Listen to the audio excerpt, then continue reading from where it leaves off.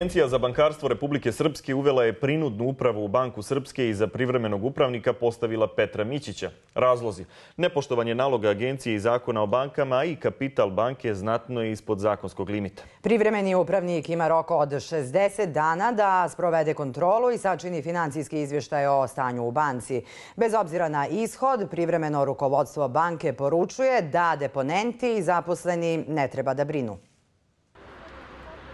Nakon brojnih upozorenja, Agencija za bankarstvo Republike Srpske posegla je za privremenom upravom.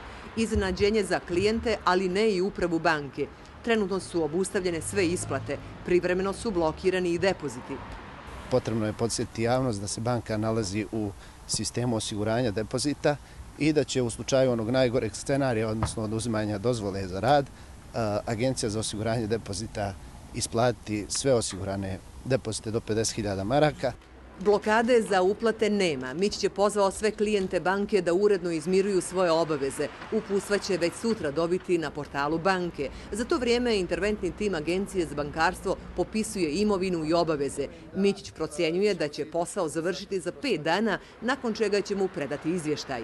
U ovih 60 dana obavljaću intenzivne razgovore sa vlasnikom banke, na osnovu čih stavova će biti i ponuđeno konačno rješenje za banku koje će biti obuhvaćeno ovim pomenutim izvještajem prema agenciji.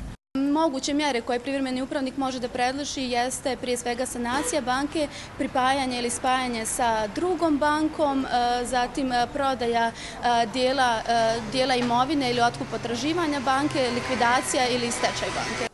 Za koju mjeru će se vlada kao većinski vlasnik odlučiti prvenstveno zavisi od finansijskog izvještaja banke. Ministar financija Zoran Tegeltija kaže da su sve opcije otvorene i da postoji mogućnost prodaje do kapitalizacije pa sve do promjene uloge banke na bankarskom tržištu. Mi ćemo roku 60 dana sasvim sigurno definisati način rješavanja problema u banci Srpskoj.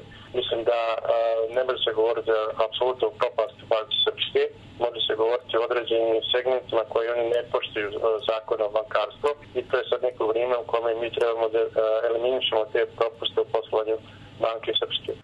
Tegeltija je posjetio da je Banka Srpske bila u sličnoj situaciji prije dvije godine kada je dokapitalizovana. Sve vrijeme na propuste je upozoravala Agencija za bankarstvo. Zbog nepoštovanja njenih odluka krajem prošlog mjeseca smijenila je direktora Zdravka Trivunčića. Istovremeno je od nadzornog odbora Banke Srpske zatražila da hitno imenuje vršioca dužnosti. Zbog čega odluka nije provedena, pojašnjava direktorica IRB-a i predsjednica nadzornog odbora Banke Snježana Vujnić.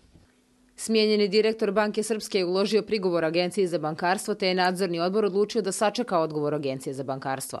Također, nadzorni odbor je zakazao sjednicu za petak 13.11.2015. koja je odgođena na zahtjev Uprave Banke Srpske. Upravi banke danas je prekinut radni odnos. Njihovu ulogu preuzeo je privremeni upravnik koji je naglasio da ni jedan radnik neće ostati bez